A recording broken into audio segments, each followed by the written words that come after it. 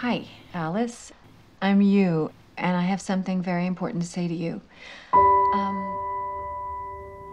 what in particular would you be looking for? I want to see if the results are consistent with Alzheimer's. Now, it would be rare for someone as young as yourself, but you do fit the criteria. Um, I guess you've reached that point, the point where you can't answer any of the questions.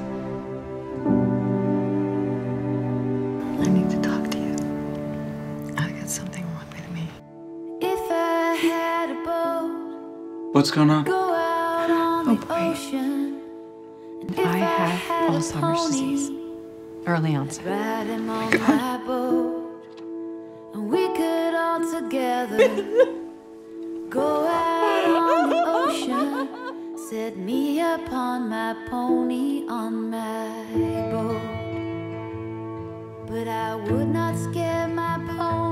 On I'd like to see you go to college. You can't use your situation to just get me to do everything that Why you can't I? Because it's not fair. You have to be fair.